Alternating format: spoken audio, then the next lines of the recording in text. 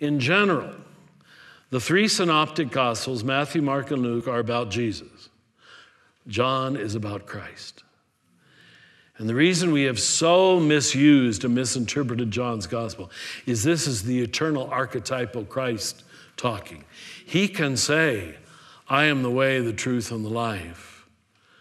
But he's not talking about Jesus. He's talking about this mystery, this amalgam of matter and spirit, which is the way for everybody that you discover spirit in this material universe.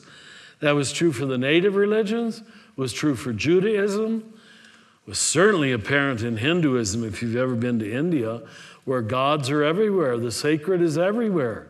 They're always anointing everything, especially the male and female genitals, even in the temples. It's all sacred. It's sort of shocking for us prudish Christians. Uh, this is sacred too, you know. It's all one sacred universe. But we got a lot of unlearning to do. And that's why we teach contemplation, because contemplation is mostly unlearning.